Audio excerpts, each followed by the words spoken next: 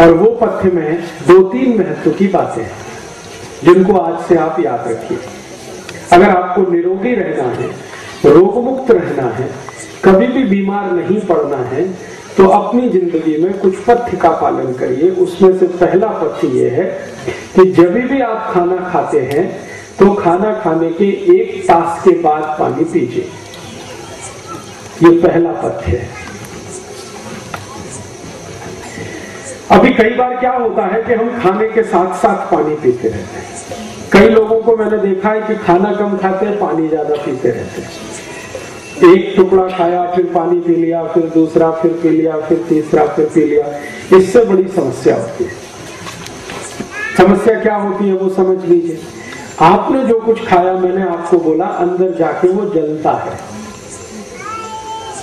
और वो जलेगा तो उसमें से मांस मज्जा रक्त वीर बनेगा। अब आपने भोजन किया, अंदर जलने के लिए अग्नि पैदा हुई और आपने तुरंत पानी पी लिया। अब क्या हो गया? अग्नि शांत हो जाएगी। और अगर अग्नि नहीं है तो जलेगा नहीं वो। और जलेगा नहीं तो पचेगा नहीं। पचेगा नहीं तो सड़ेगा, और सड़ेगा तो जहर बनेगा। जहर बनेगा तो 108 रोग पैदा करेगा। अब क्या क्या रोग पैदा होंगे वो आप सुन लो। जिनको भी भोजन पचता नहीं, उनको सबसे पहला रोग शुरू होता है पेट में गैस बनना। ये जो गैस बनती है ये इसका लक्षण है कि आपको भोजन पच नहीं रहा। ये पहला लक्षण दूसरा, अगर आपने उसको ठीक नहीं किया, गैस बनना तो धीरे धीरे ये गैस जलन करती है फिर। आग पड़ती है। पेट में आग पड़ेगी, छाती में आग पड़ेगी। फिर भी आपने उसको ठीक नहीं किया तो वो थोड़े दिन के बाद जहाँ गैस बनती है ना, वहाँ घाव बन जाता है। अल्सर कहते हैं उसको। फिर भी आपने ठीक नहीं किया तो घाव और बड़ा हो जाता है। फिर उसको प्रैक्टिक अल्सर कहते हैं। और फिर भी आपने ठीक नहीं किया तो फिर वही कैंसर हो जाता है।